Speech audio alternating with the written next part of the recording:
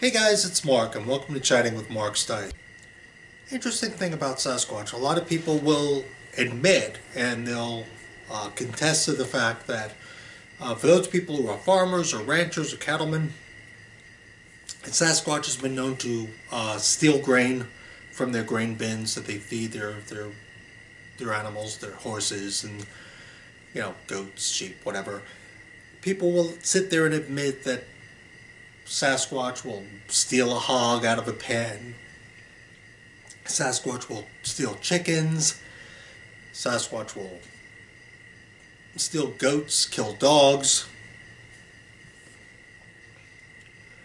And one thing has always perplexed me because if Sasquatch is like a like a human, which we believe, some sort of an ancestor of human, that Sasquatch is capable of eating these things as well as grain. So you know, it's an omnivore. It eats both plants and animals. That's what an omnivore is. The Dennis Martin disappearance has always, I don't want to say fascinated me, but it's intrigued me. Because, to give you a background, I did a video on Dennis Martin. You can take a look at it. The link will be in the description. Long story short, Dennis Martin on Father's Day, which is in June, goes out with his father and his two kids. Dennis Martin, Dennis Lloyd Martin, is seven years old. Well, lo and behold, they are in the Great Smoky Mountain National State Park. They come across another family and their kids. Their last name happens to be Martin as well. Kind of a kind of an unusual coincidence, but no big deal. One Martin family asks the other, "Hey, can our kids play with your kids?" Mr. Martin says, no problem. They're playing hide and seek. And of course, as any good parent would, Mr. Martin's keeping an eye on his on his two boys. Well, they go out, they hide, and Mr. Martin keeps an eye on Dennis. Dennis goes behind this bush, which happens to be documented in this picture right here. Well, when all the kids come out, Dennis doesn't come out. So, of course, like any good parent, Mr. Martin heads over there and there's no Dennis. Dennis isn't there. There isn't any struggle, there isn't any blood, there isn't any signs that Dennis was mauled by anything. Dennis is just gone. Within 30 minutes, a search begins.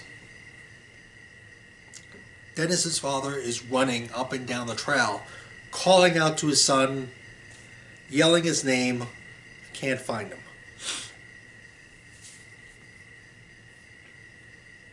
Some nine miles away, the Key family, looking for bear because they wanted to go into the, the state park and they wanted to try to see if they could find some bear, hears a blood-curdling scream that's reported as literally the most terrifying sound they'd ever heard, which is very similar to what a lot of people report on a Sasquatch. Now, all I have to go on are these facts. One of the children of the Key family points to his father and say, hey, there's a bear. And he said it because it was off in the distance, it was covered in hair, covered in fur, but it was upright and looking to avoid um, being seen. And the father said, no, that can't be a bear because it's on, it's on two legs, you know. Now, it's reported, and I can't verify it, that the keys say that they saw that there was something red on its shoulders, which Dennis Martin was wearing a red shirt at the time. The issue that I have two things. One, why didn't Dennis answer his father? Two, during the search, and I'll get into this part later,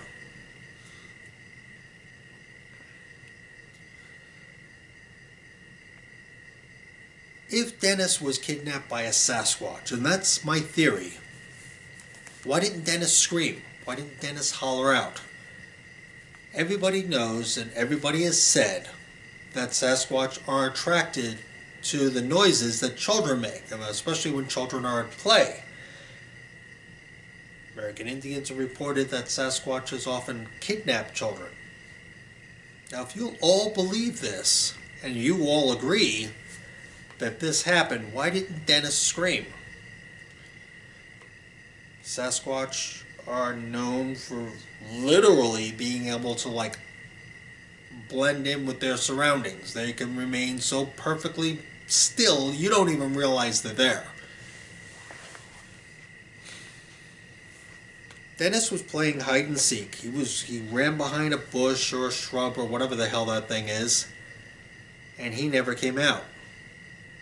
So while that was happening, something happened to him. Something that prevented him from screaming.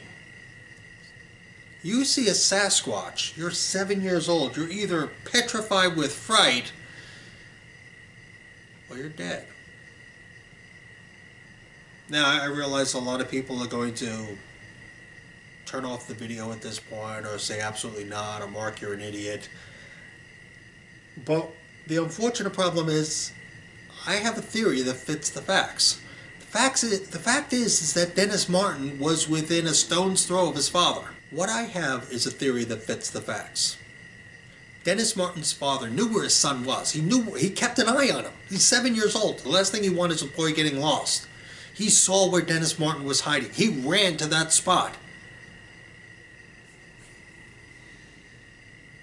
Dennis wasn't there.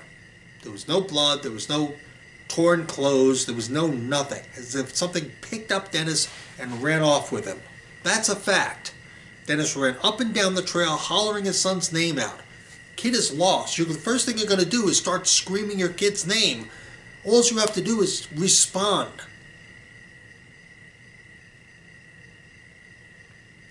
even when even if Dennis just wandered off, at one particular point he's going to start crying for help. That never happened. Nine miles later, the Keys hear a blood-curdling scream, something so terrifying. Everybody reports that about a Sasquatch, that there's this god-awful noise. That's what the Keys heard. That's what the Key family heard. It's also reported, and I can't verify it, that they saw a creature. They saw what they thought was a man, but the man was covered in hair. It was covered in fur, so they didn't think it was a man. They didn't think it was a bear. They didn't know what it was. Trying to be elusive, trying to remain hidden.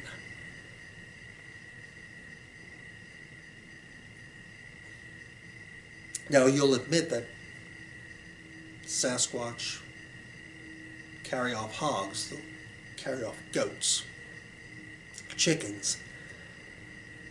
They'll kill dogs. They'll eat grain.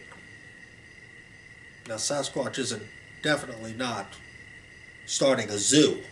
It's not looking for pets. Is it possible, is it not possible that Sasquatch killed Dennis Lloyd Martin? Is it not within the realm of possibility? And if it's not, why? Here's my next question. This is this is the part that always perplexed me and when I did the first video I I couldn't figure it out. Here's the uh, here's the clipping and you can you can research this yourself. Green Berets showed up to add to the search because apparently they found a shoe some distance away.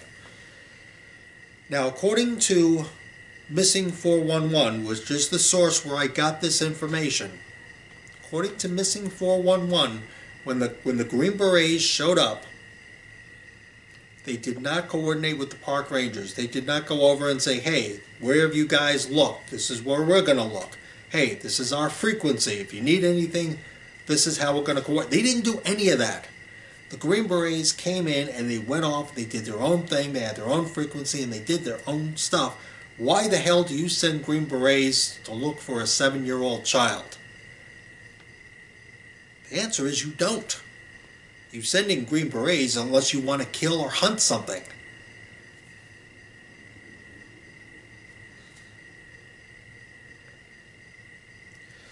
Somebody had once made a post to me and they had said that the government knew about Sasquatch. I, I don't know if I could fully accept that yet, but the fact that Green Berets were sent in, that's the part that always got has me puzzled. You only send in Green Berets when you want to kill something. You only send in Green Berets when you want to hunt something. Green Berets weren't looking for a missing seven year old boy. Why? Was it because of the fact that they knew already that Dennis was dead? Did a Sasquatch kill Dennis? Is it is it not within the realm of possibility? You'll admit that they'll they'll grab goats, they'll grab hogs, they'll kill dogs, they'll grab chickens. So why wouldn't they grab a seven year seven year old little boy? Now, of course, you can turn around and say, well, maybe they wanted to raise it as one of their own. I grant you that. I'm sure that people are going to make comments about that. But here's the problem with that. A seven-year-old little boy is going to grow, so whatever clothes he's wearing, he's going to outgrow. He's going to out. He's not going to. They're not going to fit. Seven-year-old little boy is eventually going to become naked seven year old little boy isn't going to survive at night. Seven year old boy is, is not going to survive in the winter, and a seven year old boy certainly isn't going to spontaneously grow hair and fur to be able to keep him warm. Dennis Martin didn't live during that encounter. I mean, what do you think?